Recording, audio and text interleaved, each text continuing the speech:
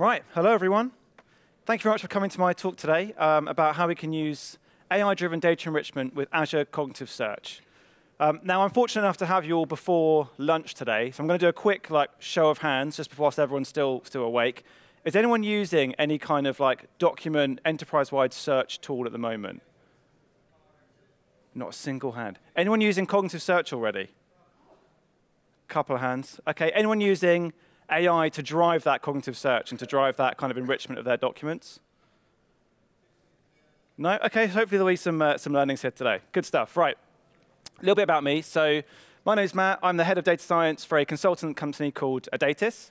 I've been working for about eight years on the Microsoft Data and Azure AI platform. Um, two years of that has been working with Azure Cognitive Search um, and some of the applied AI components that sit around that. Um, if anyone needs a new doorstop, I've also published a book on uh, modern data warehouse in Azure, although it's slightly out of date now. So, uh, but go and check that out if you're interested. The focus of today's session. So, as I said, we're going to talk about cognitive, uh, cognitive search and some of the AI-driven data enrichments that are available to us within that. So, to start with, we'll look at the cognitive search building blocks. So, what makes up a cognitive search service? We'll then talk about how we can start rolling in some of those custom skills and AI enrichments focusing on cognitive services and the skills that are available there, some of the custom skills that we can develop to help extend what comes out of the box. In particular, we'll look at things like OpenAI, which is obviously a very particularly hot topic at the moment, uh, and Form Recognizer, also an equally uh, popular technology, uh, and also Azure Machine Learning skills. And finally, we'll talk a little bit how we can maximize those AI enrichments that you've delivered. As I say, starting off with the cognitive search building blocks. So what is cognitive search? Cognitive search was devised really to meet three primary use cases. The first one is called enterprise search. And this is primarily about finding the right document and getting it in front of that user as quickly as physically possible. By this, a user should be able to type in a search, and, and the correct document should be in front of them instantly. That should then save them time from having to go through network drives, uh, document directories, trying to whittle through SharePoint. We should just be able to find that, that document through a natural language search. This can also include intuitive search features that people of users such as Bing and Google come to expect, like advanced filtering, and those kind of natural intuitive search features. We can then build on top of that and start to talk about knowledge mining. So once we've got the right documents, how can we harvest the data from those documents and start to provide real-life, human-readable answers directly from those documents to those users? Very often when you type a question into Google or Bing, it comes up with a nice little box at the top where it's summarized a, a document or an internet page for you and given you that answer directly.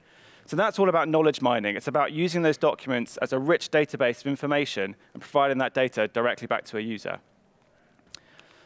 And lastly, the kind of the, the third tier here is all about document intelligence.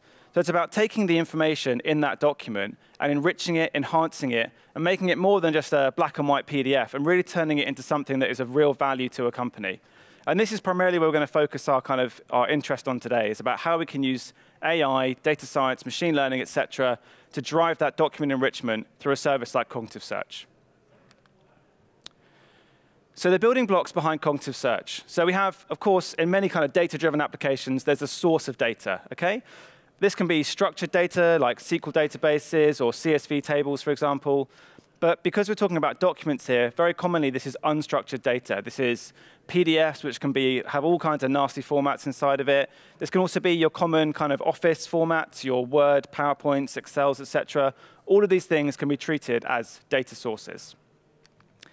And what we want to try and do to deliver on any of those three use cases is drive those through into something that can be easily queried and searched. And this is what we call our search index. And principally, this is a large JSON structure that has a whole host of fields in it that we can then use for searching and, and filtering and all the kind of things you'd expect to see in a search. So to get from one to the other, we need a bridge. We need a, a mechanism of getting from the source through to the search index. And for us, for us, this is called an indexer. And the indexer is the primary means of orchestration to get from one to another. It handles all of our common kind of orchestration needs, such as scheduling, uh, error handling, and bubbling up of any warnings or errors that might happen in that indexing process, but also mapping of fields. So we want to map some fields in a source to a different field in the search index. We can handle all that inside of our indexer. But that doesn't actually hold many of the activities. The actual activities themselves, what are we actually going to do to this document in order, is all contained within a skill set. And a skill set has a number of skills inside of it. And there's an example of some of the skills that we'll look at today listed out there. So these are the actual activities that are going to drive your document into something that is of real value to an organization. So just to kind of unpack the skill set for another minute or two. So principally, the skill set is, again, another JSON object. Okay, You're going to see this a lot today. Everything in cognitive search is, is built out of JSON, essentially. So in here, we'll have things like skill set metadata, which kind of tells us the name of the skill set and other associated kind of attributes about that particular skill set kind of the key piece here is then going to be a list of skills that we're going to apply to each document in order. And then some other kind of configuration items like which cognitive services resource we might be connecting up to, and also a knowledge store configuration, which allows us to write information back out into something like an Azure storage container or a data lake, for example. So a really kind of simple example of what a skill set might look like is uh, a few skills that I've listed out here. So skill number one, let's get the content out of these documents. Skill number two, let's do some optical character recognition on top of all the images uh, that are inside that document. And then skill number three, let's merge those two content fields together. So we've now got a really nice combined set of content that represents all of the text, all of the content that is inside that document. And lastly, let's use a knowledge store to project that out into the data lake, and maybe we can do some analysis on that in another application or tool further down the line. So that's a really typical example of a simple skill set but even that simplicity will give you an excellent search experience in cognitive search. OK, so let's get on to kind of the, the real kind of interesting stuff, the, uh, the cognitive skills and the custom skills that we can use. So the first one to talk about are the built-in cognitive skills. And there's a number of examples that I can give here. The first one is key phrase extraction. So this is where we can take the, the, content of a document, we can parse our way through it, and we can find the key phrases or bits of information inside that content and start flagging those up to users and consumers of our search index. The next one is entity recognition and linking. So this is kind of similar to key phrase extraction, but now we're trying to identify maybe core people or locations or companies or, or dates, things like that, these kind of critical entities and what's more is we can start to link those out into relevant Wikipedia articles or other areas um, across the internet. So we start building up this network of information inside of our search index. Uh, character recognition, obviously, is a fairly common one. If someone has scanned in a document and it's represented as a PDF, as an, an, an images, we need to be able to understand what characters inside that and turn that into text that we can, we can utilize. PII detection, so being able to identify what fields might cause PII issues, and we need to be tracking inside of our search index. Sentiment analysis is a very common use case. Um, and this is where we want to attach a negative or, or, a positive sentiment to certain parts of our content. And lastly, language detection and then translation. So can we actually take content out of our index and translate it into other languages? So the nice thing is that all of these skills are built out the box for you. You can very easily just plug these into your document index, and you've got this kind of functionality ready to go just by connecting up a cognitive services resource. So a couple of key facts. Um, so they do rely on a, on a separate cognitive service instance. You'll need to provision a cognitive service. You need to hook up the two connections with, a, with an API key. And you also need to expect some billing to come against that cognitive service instance as it's running the API queries for you. Typically, the pricing of these cognitive services is done around sort of every 1,000 transactions or 1,000 text records if it's a text-based API. Um, and the last thing to note is that obviously the return kind of objects from these services will vary depending on what you're looking at doing. Obviously, sentiment analysis is going to be very different to language translation. So just being a bit aware about what service you're using and the response that it's going to return. So apologies to show just like raw naked JSON on screen. I know that's not really the done thing, but just to show you how simple it is to configure these uh, cognitive skills straight out of the box. Um, this is the implementation of a sentiment skill, and this is all that you need in terms of a template to kind of start using this sentiment skill. And actually, this format is used across all of the different skills that we'll talk about today, okay? And I'll break this down for you now. First thing we have is the skill metadata. So what skill is being invoked, in which case, in this case, it's a sentiment skill, um, and what is the context of it, where does it sit within the document tree? Then we have any skill-specific parameters. So in this case, we're looking at opinion mining and are we setting a default language. Different skills will have different parameters that we can set. We can all chuck those in at the top there. And then very simply, we have a bunch of inputs that we're going to pass into the skill, and then outputs that we're going to re return out of the skill. So these are what we're expecting to get back from a sentiment analysis skill, for example. as you can see, a really simple stru structure that can get us going very, very quickly. OK, so that's the ones that are built out of the box. But what about you know, the things that we can't do out of the box? How do we extend past those things that are you know, already been kind of created for us?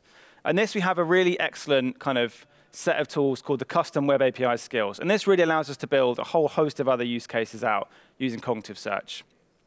So some common examples that you, know, you might typically use when you're building out custom Web API skills.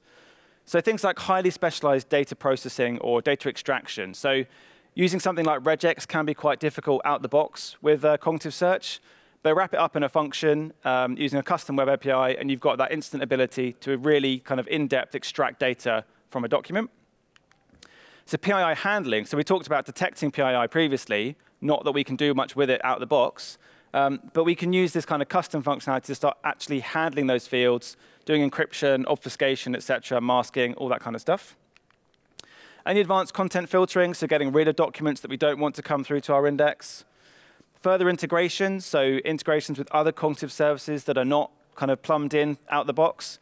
Things like the um, computer vision APIs, for example, very common that we want to utilize but don't have a custom activity already.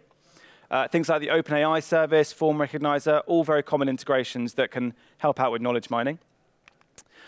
If we want to start doing custom logging or custom process kind of control around this kind of indexer process, we can start to write these kind of logs out into a database and do our own analysis on top of that.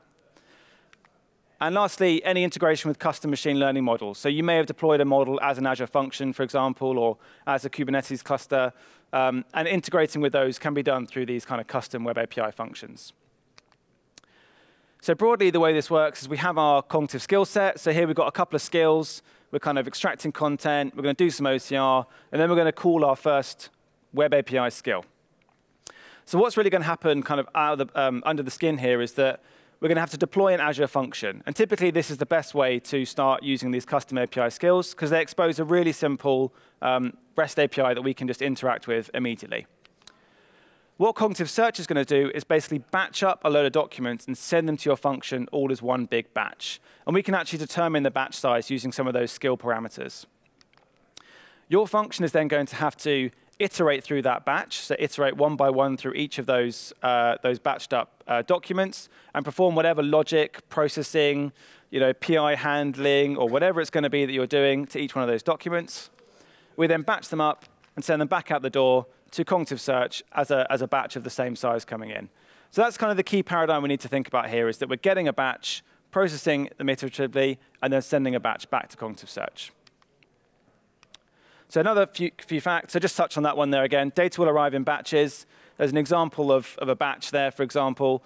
Um, as you can see, data will arrive. You need to be able to unpack that batch inside your function. The return JSON that you have must match the same batch size. Sorry. So you might want to try using try and except handlers to make sure that if your function fails anywhere along the processing, you can handle that, that, that, um, that exception and pass back a default response.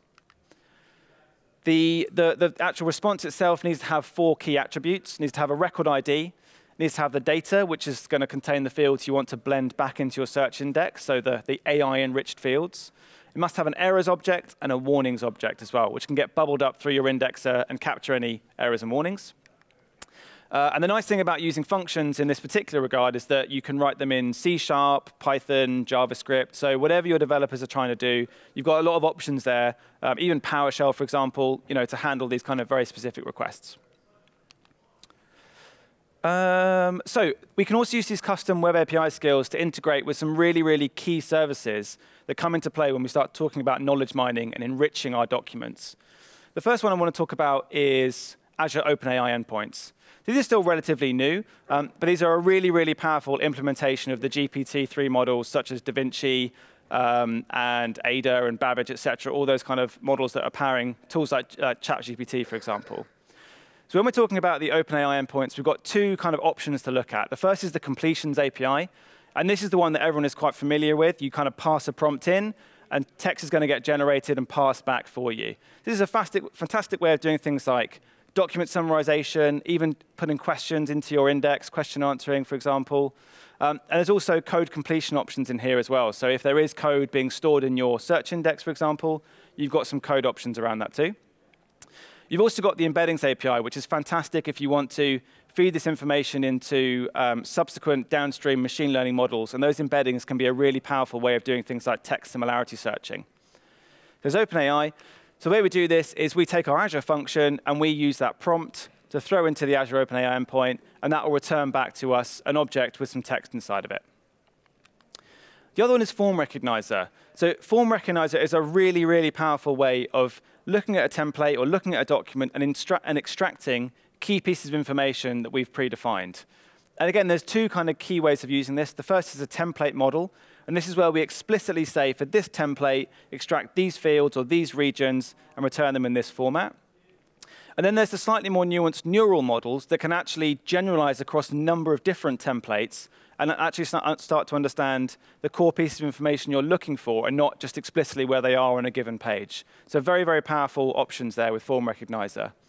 And again, if you want to integrate here, we would pass in a document location where Form Recognizer can go and get the document, shred all the content that you're looking for, and then pass that back to your Azure function, and that can then get blended back into your index. So two really powerful integrations there. The final one I was going to touch on is Azure Machine Learning. So um, again, we've got you know, a similar skill set here, doing a couple of activities, and we've got our Azure Machine Learning skill. And typically speaking, when you're working with Azure Machine Learning, you start with a data set, you get some data, you then kind of bring alongside a notebook, and you use that notebook to train a model, you then deploy that model, typically out to something like Azure Kubernetes Service that then operates in the cloud. And again, we've got that really super simple JSON interface where we can pass inputs as a JSON array and get our prediction or our score or whatever it's going to be out of our Azure uh, AML model, essentially, um, and then blend that back into our index. So a really, really common format that we can use for a whole host of different reasons to get those AI enrichments into our search index. So the last thing that I'll kind of touch on here is how we can maximize um, our AI enrichments and make sure that we're getting the most out of them um, inside of our index. So where our sort of document starts its life, you know, it's a bit black and white, it's a little bit bland, a little bit boring, it's just a raw document. We can start to plumb in those cognitive skills and start to really enrich that document. So for example, we might start with a document classifier. What type of document is this? Is it an invoice? Is it a terms and conditions? Is it a legal document? That might decide how we're going to process it further down the line. We might then attach some sentiment analysis to that and start looking at whether it's a positive or negative document. We could then say, OK, well, if we found some negative reviews, let's do some key phrase extraction. Let's pull out the key bits of information about that. Uh, let's summarize that as well so we can put together a nice little summary to put in front of some users or some key product people to maybe understand what's going on. And lastly, let's translate that so we can disseminate that across a number of different global regions, for example. So we've built up this really rich set of kind of, of, of, uh, of key cognitive skills there. But the problem is, what do we do with that next, right? That's the kind of the key thing. So some things we can do is things like pass that on to other data science tools and do some ML and data science with that. Or just some custom analytics. Can we just count the kind of the positive versus negative reviews, for example, for certain SKUs? Um, also using things like search apps, so giving users the ability to just search through that using natural language querying. And lastly, can we blend that back into Dataverse and other kind of business applications that, that users are, are using? Um, and typically speaking, it can be quite a long journey to get from you know, starting with a whole load of documents in a repository and getting to a point where you've got this highly enriched index that you can then start to realize some of these more advanced use cases. So that's why I just want to touch on at the end here, um, that we as Adatis have a, an AI and cognitive search accelerator that uses generic kind of tools and pipelines to help utilize some of these kind of key AI enrichments through cognitive search to help deliver on these use cases in a very quick and, uh, and accelerated format. So thank you very much for listening, everyone. I hope that's been informative and, and, and useful. Um, if anyone has any questions, I think we may have a minute or two just now. Um, but if not, you can always come find me at the data stand um, out in the corner here, um, or I'll be around the conference for the next couple of days. So thank you very much, everyone.